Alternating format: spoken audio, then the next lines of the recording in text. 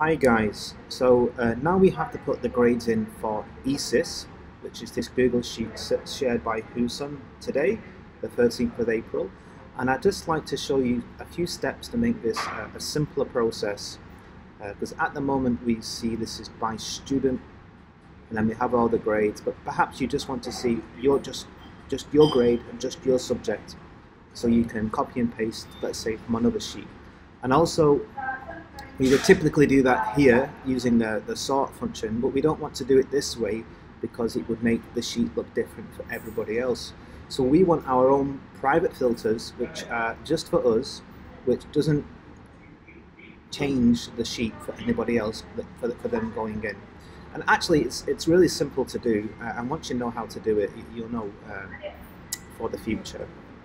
So all we do here, this little uh, symbol here, which is create a filter, we click on the little drop down arrow here and we can create a new filter view. Okay, I'm going to call this filter view 7 boys ESS. Okay, so that's the name of the filter view, so I've named it. And now I'm going to make this filter view special just for 7 boys ESS. Okay, so I'm going to click on this inverted triangle here and I'm going to just select it so it just shows grade 7 and then for the subject I just want it to show ESS which here is known as Social Studies English. And I just teach grade 7 boys so I just wanted to show grade 7 boys. Okay.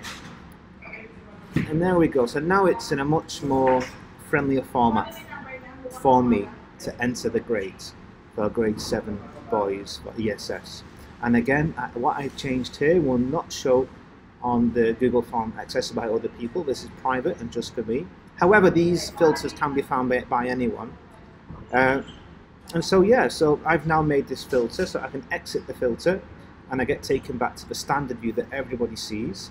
And I can access my saved filters now. I click on this drop down arrow and I can see all the different filters that I've made. And I can just snap straight to 7 boys, snap, then I see grade 7 boys and I can make these filters for all my classes uh, so that when I put the grades in it's a simple and straightforward process as opposed to at the moment which is like this which can be a bit cumbersome.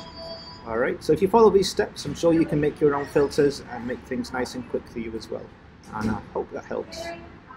Cheers